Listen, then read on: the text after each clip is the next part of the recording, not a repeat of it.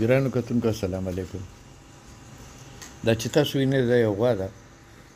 دا یخنۍ ته پاتې شوې ده او د دې ټمپریچر چیان مې له راغلی دی دا پاسېدی نه شي دا پرته ده او شخوند من دې بند کړی دی بیخي بې حرکته ده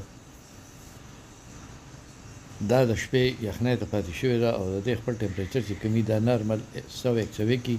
دا چین مې له راغلي وي ما چې دا وکتله دې ټمپریچر ډېر زیات ډاون و دې ته ما اډرنلین انجکشن یې وکړې ما چې دا لږه ګرمه شي او دې ته ما د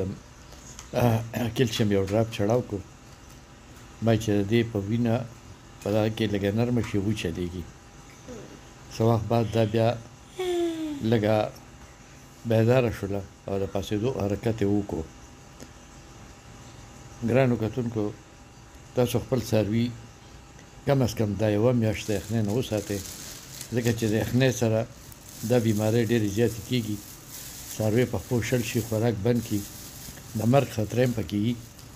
نو په کار دا دی چې تاسو خپل څاروي ګرم وساتئ لږه بې احتیاطي چې کومه دا ستاسو مالي نقصان هم کوي